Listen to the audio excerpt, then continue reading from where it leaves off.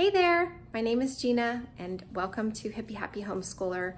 Today I'm hopping on here because I want to share with you the subjects that we are doing together as a family in morning time. Some people call it morning time, some people call it morning basket, some people call it enrichment activities um, or group subjects or family subjects. We just call it morning time in our house. So I'm gonna go ahead and take you through kind of a run through of how the flow works in our family, as well as showing you some of the books that we use. Also, I'm gonna show you how I keep track of everything, like where I house all of our books and the different things that we're using for morning time, and then how I kind of flesh out the schedule. So this is gonna be a little bit longer of a video, but I hope that it will help um, with your own personal homeschool planning or maybe spark some ideas or encourage you or um, help in some way. That's the whole reason I come on here and um, share what we're doing is because I have been so blessed by other homeschoolers that go online and share what they're doing, what has worked, what hasn't worked, what has been a blessing to them, what has been useful. And so I just want to pass that on. So starting off, at the beginning of our day, we use World Watch News as our current events, um, our news source for the day. And I'm gonna go ahead and show you what that looks like. Um, we've been using World Watch for the past two years, and what it is, is it's about a 10 minute newscast of all of the current events that are happening all over the world. Um, it is a Christian organization that puts it on, but they don't have a political slant, and that is why I appreciate them because it's a way for my children to get current events without being told how to think or how to feel about a certain subject or a, a news story. They can gather their own ideas and, uh, you know, hold it up against the Word of God and decide whether or not the things that are happening are good or bad or indifferent. Um, but we we really love World Watch. It starts off our day. Um, so I'm gonna go ahead and show you what that looks like, and then I will hop into the rest of our subjects. The 13th, and this is World Watch.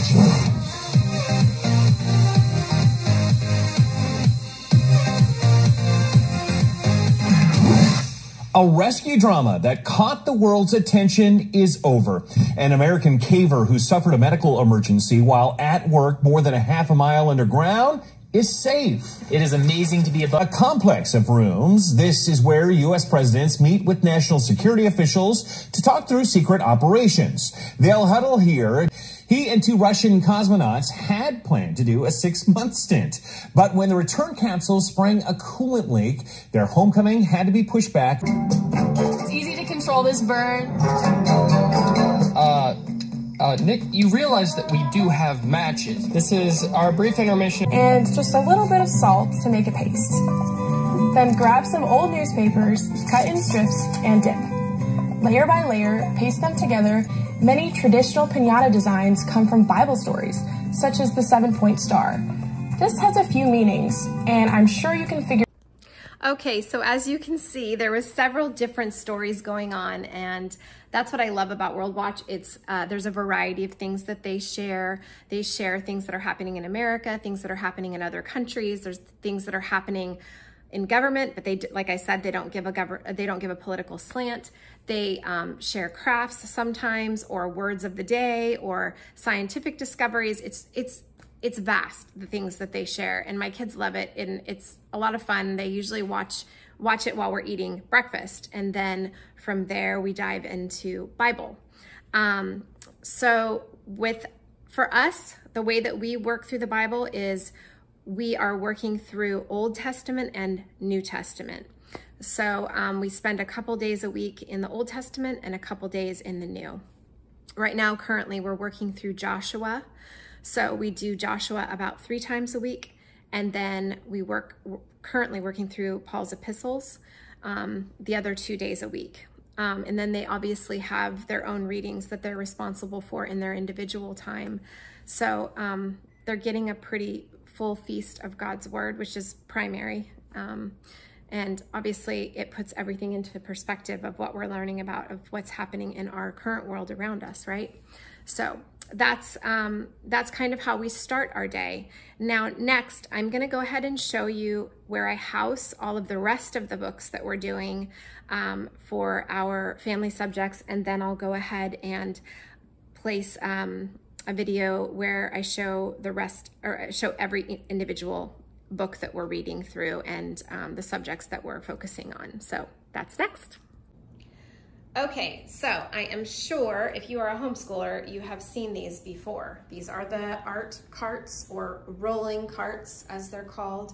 Um, you can find them at Michael's, you can find them on Amazon, you can find them at Target, Walmart, pretty much anywhere. So um, the way that I have it, it's not really that organized right now, but back here is the good and the beautiful subjects, uh, history books that we're using for some of the history streams that we're working through right now. And so I have anything, you know, related to our history back here. Um, I have a book on kings and queens of England and Scotland because we're going to be getting into that. Um, I also have, let's see here, this might be tough to get out. This is English Fairy Tales by Simple Studies. If you've never heard of Simple Studies, I highly encourage you to go on Instagram and type in at Simple Studies. Um, it's by Crystal Wiley. She has a number of different Simple Studies that she uses. I think she has one called Creatures of the Night. Um, she has one on America. She has one on farm animals, I believe.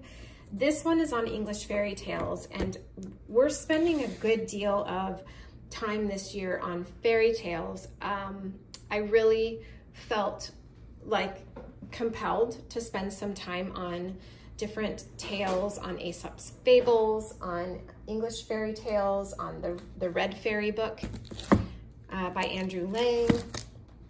We have, um, this is an older book. It's the world's best fairy tale, so it's kind of a compilation of multiple different ones. So what we do on Tuesdays and Thursdays, um, we spend some time reading a fairy tale. And um, the way that this um, instructor guide works is she has it laid out, I believe in, gosh, there must be like 36 lessons in here of different fairy tales. So, um, so see here, she has D'Aulaires' Greek myths, um, Lemonade in Winter, Treasure of How I Learned Geography, The Rough-Faced Girl, um, Anatole and the Cat, Rumpelstiltskin, The Three Sillies. I mean, it. she has a ton in here. So we're using this in tandem with, with the already studies fairy tale books that we're doing. I also have this amazing new fable book written by a man named Michael James Dowling. I met him at the FPEA um, homeschool convention and they are modern, they're like modern in that he wrote them recently. They're Frog's Rainy Day Story and other fables, but they are so incredible. Um, you cannot underestimate them. I will actually probably do an, another video where I talk about this and why it's so powerful, especially in the times that we're living in where people are trying to um, change the meaning of truth to fit their um, false reality. And um, he just, I love it because he, he uses these cute little animal stories, which is, you know, how fables are used, um, to tell truth and really make you think. So um, that's what we use on Tuesdays and Thursdays. So that's, you know, in the top here. I also have wonderful ancient Psalms um, it's the same company that makes, um, it's called the Ology. Um, they make that one. And then there's another one about the different women in the Bible. Um, and we really enjoy it. So we read like about a psalm a day. We're also working through um, the Tuttle Twins, Logical Fallacies. This has been incredible. I have, like I said, a 12-year-old, or almost 12-year-old, a 14-year-old, and two 16-year-olds. And all four of them collectively are understanding the concepts in this book. It's great for the day and age that we're living in. Um, debate is an important thing to be able to do in general, but especially now more than ever. Um, they're really enjoying it though. So that has been a great add to our morning time. Um, let's see, where else? Uh, Publicola, this is a Plutarch. We haven't gotten into this this year. We do plan to do three different Plutarch um, stories this year. But, um, so we have Aesop's Fables, The Fall of the Year, um, Our Island Story by H.E. Marshall, which we're working through. Um, this is the children's Plutarch, which we'll get into when we um, work through Plutarch this year. Um, I also have poetry memorization by Andrew Pudewa. Let's see if I can show you here. Uh, this is awesome. One of the things that I really wanted to focus on this year was memory. One of the things that I really wanted to focus on this year was memorization. I just felt like uh, we weren't spending enough time on it. We do recitation, but I don't know that we were getting as much out of it as I wanted us to. So I decided to go ahead and invest in this program and it has been so wonderful. I can't say enough good things about it. It's just, it's fantastic. Um, you order the program and then you can download the audio files and you just do one, we've been doing just one poem, one new poem every single week. And then you review all the poems that you've done in the past weeks and then add a new one every week. And you would be surprised how much your kids will learn. It is, it's amazing. It's remarkable. I am, I just think it's so special. And you know, we've been trying throughout the year because the, the good and the beautiful has you try to memorize poetry in um, the language arts programs. It's something that we've been trying to do, but doing it as a group, for some reason, we can stick with things like this better as a group. Um, and we're doing the same thing with Latin. Um, we're doing it as a family and it keeps us on track because we do it every single morning. The other thing that we're doing as a family is the, um, the health and human mind study from The Good and the Beautiful. Let me see if I can find the actual course book. Yeah, it's, so this is for ages, it's for three through eight is what it says. However, this is why I love homeschooling because if there's information that you want your kids to have, you get to give it to them if you think that it's beneficial. And I do. I think that these, these topics are very beneficial. Um, you have um, human mind and nervous system, the brain, eyes and vision, ears and hearing, mouth and taste, smell and the nose, the brainstem, memory and emotions, social health, emotional health, um, connecting with nature and healthy habits. I mean, who wouldn't want their kids to know all of those things? Um, and obviously, you know, in your older grades, they're going to be taking psychology. Um, our, my juniors are taking a psychology class, and that's actually, um, I talk about that in another video that I do called Intro to Psychology with the Seven Sisters. You can check that out if you're interested. And so this just kind of goes along with it. It's just, it's just more of what they're already learning and it's just reinforcing all of those things. So, okay, I'm gonna show you just a couple more things and then I'm gonna wrap it up.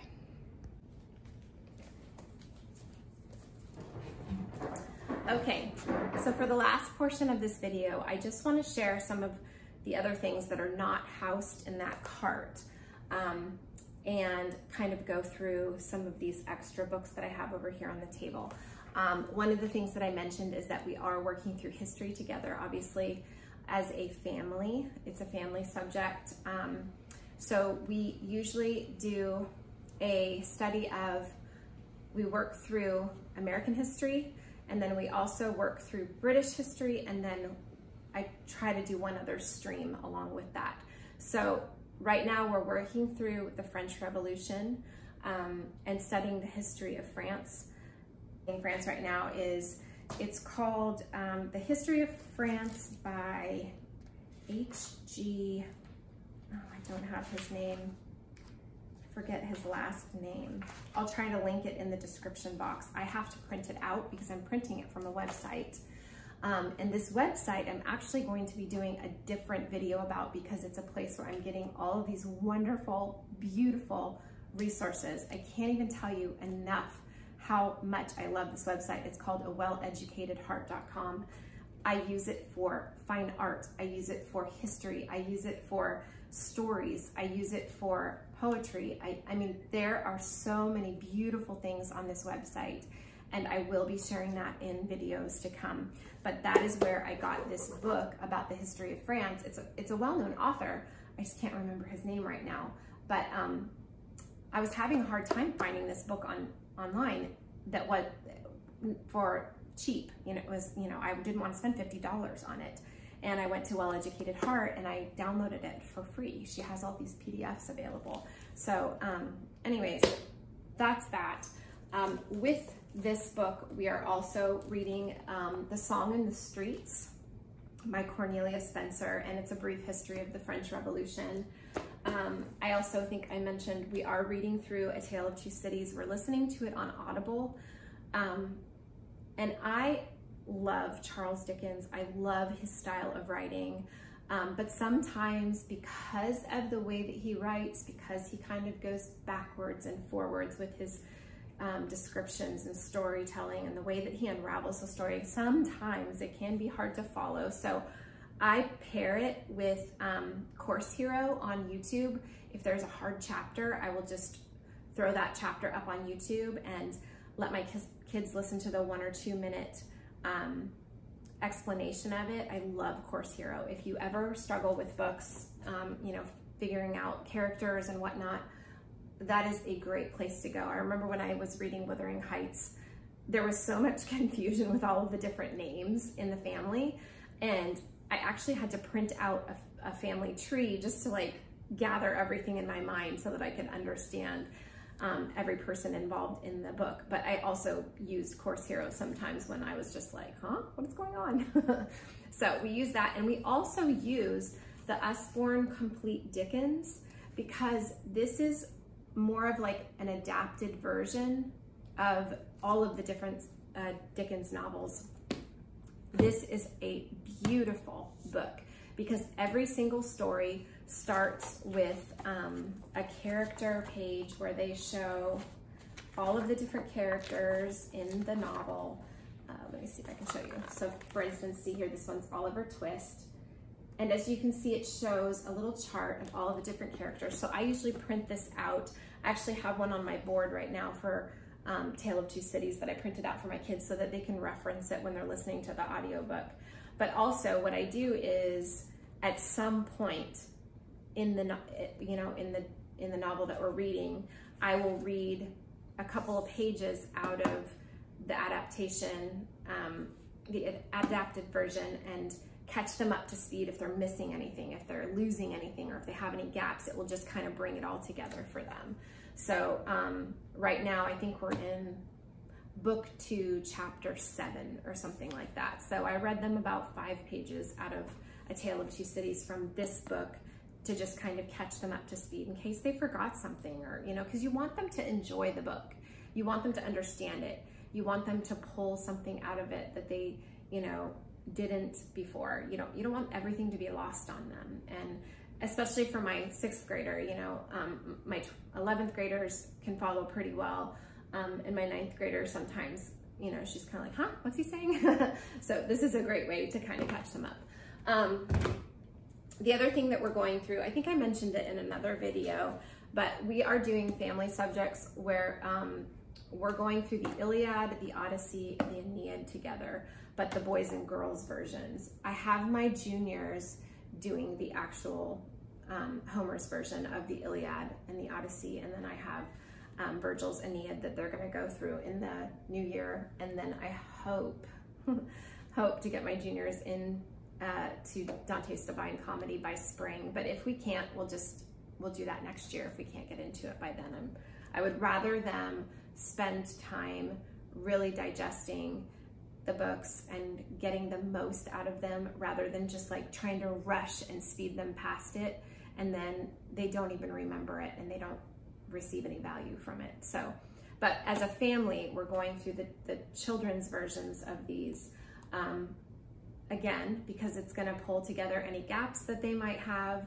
Um, and also it just familiarizes my younger ones, my ninth grader and my sixth grader with it before they have to read Homer's version um, or Virgil's version. Um, so what we're gonna do is we're gonna do this version, which is Alfred J. Church.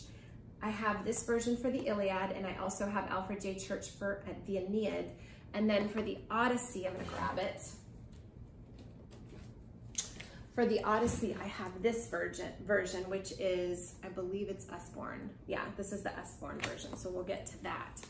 Um, also, along with that, we are reading through D'Aulaires' Greek myths as a family because I think that it brings everything together. It's a perfect time to bring in the myths. We've read some of them before in years past when we did a study of ancient Greece, but they were much younger. And so this is their second pass through.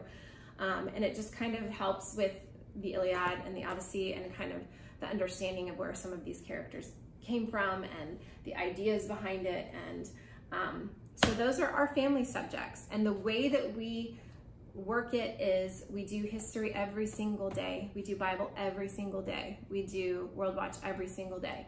Um, we do fairy tales and fables on Tuesdays and Thursdays. Um, we do um, like a fun read aloud every day. We're working through either every other day. We kind of switch back and forth. We're, we're working through the Penderwicks series. This is our, this is the second one in the series um, that we're working through. We're almost done with this one. So about every other day we read the Penderwicks and about every other day we were finishing up Princess and the Goblin. We had started Princess and the Goblin last year um, and then got sidetracked by a couple of other more pressing read alouds that we needed to get through that had to do with whatever historical um, timeline we were in at the time. Um, and then we incorporate our apologetics on an everyday basis, rotating between the logic book um, and also the answers books by Ken Ham. This one we're working through right now. It's very meaty. Um, it takes time. You have to be patient with it. You don't want to rush through because the information is important and you don't want it to escape them. And so sometimes you'll need to stop and explain or maybe read something over again. Um, it's just really important to take your time with it. Um, I also have the smaller answers books that we're still finishing up. I think we're in book six. Um, there's about eight of those little ones that are meant more for like younger kids, but we're just gonna, we're finishing those. Um, and then the YWAM books, um, I think I showed you Louis Zamperini. We're reading his um, the missionary story from him, We're reading his book every single day. Poetry memorization is every day and Latin is every day. And I would say our morning time takes about an hour and 40 minutes. Um, oh, and we also do an art study once a week. We study a piece of art. For some people, that might seem like a long time, especially considering we have high schoolers, but the time just flies. I mean, we we so enjoy the time together as a family. My high schoolers, they love it. They still love sitting around the table um, and being together as a family and sharing in all of these different books and learning together. And, you know, I cannot stress enough how important it is to let the Holy Spirit lead you because when He leads you in your time with your children, in the the curriculums that you're choosing for your children, in the books that you're choosing, in the amount of time you spend on each subject. If you're truly seeking the Holy Spirit, you will know how much to do. You will know how much not to do. You will know um, what what you need to like back off from or what you need to press into, lean into. Um, it, I cannot explain how many times as on a daily basis, I am just in awe of like, wow, this pulled together with this and this made sense with this and this hit my heart here and it, it met one of my kids here. And um, all of these aha, aha moments of them going, oh my gosh, what about that? I heard that about that in this book and that makes sense because it reminds me of this book or that art piece or that country that we studied or that historical um, event that took place or that war. Look at the look at the commonality of you know, human history of this leader and that leader and it, you know, nothing is new under the sun. And I don't know, it's just, it's amazing to really watch your kids draw these conclusions, but also as a mom to just be constantly humbled by the fact that I am not the teacher. The Holy Spirit is the teacher. He is leading every single thing that we do.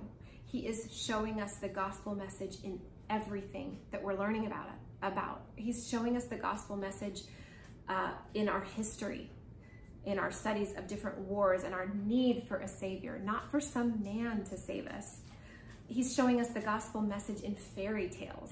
I mean, it is in, in family relationships, in, in all the dyna dynamics that we're reading about in, in the different um, read alouds that we're reading. It's just, it's phenomenal. Um, and I cannot stress enough how important it is to really seek God about every single thing you do. Do not, um, do not overthink it. Let the Lord lead you and then make decisions and pray about it, you know, and, and we pray every single day before we start, Lord, lead us. Show us what we need to focus on. Show us what we don't need to focus on. And he will, I promise you. Um, we're in our sixth year of homeschooling and I can say without a doubt, it has, it's not about me. It is not about me. It is about me surrendering to the teaching of the Holy Spirit. It is about me humbling myself and coming under the authority of God and realizing that he's entrusted me with these children, but that I have to hear from him before I speak to them. Um, so anyways, that's pretty much all I have to share for today with the, um, the group subjects. I hope that some of these choices that I've shown you have helped um, you to maybe think of something that you want to add in. Um, like I said, we just, we pray and we do our best and God does everything. Um, one more thing I forgot to mention was that our Latin that we're using is Compass Classroom. It's visual Latin. The guy who does it, um, there's 30 videos, I think, no, 30 different lessons, and each lesson has three different days. So every day, or every week, you're doing about three lessons of Latin videos plus worksheets. He's funny, um, so comical. My kids love him. Short little videos, about seven to eight minute videos for each lesson, and then worksheets. It's very doable. It's fun to do as a family, and um, it's just a really easy thing to keep on track, especially like I said in morning time. I've tried it before separately, just trying to do two kids and I just, I pushed pause a couple years ago when I was trying to only work with two of my kids and I just thought, you know what, I'm gonna wait until we can do everybody all at the same time. and it worked. Same thing with poetry memorization. So some things you just have to pause and wait until it's the right time. So, but anyways, that is it for today. I hope that this helped um, and I hope that you have a wonderful week. God bless.